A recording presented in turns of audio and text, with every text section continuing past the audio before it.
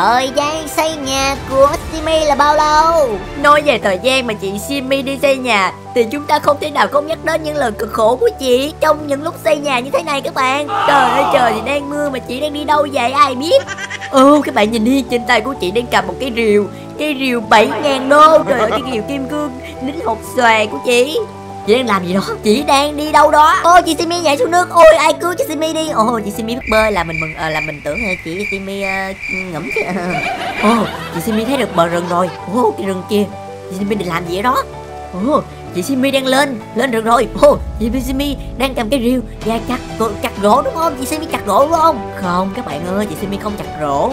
Vậy chị Simi làm gì? Chị Simi ưng ưng ưng game mod 1 rồi sau đó chị Simi bay về nhà và tiếp tục xây nhà.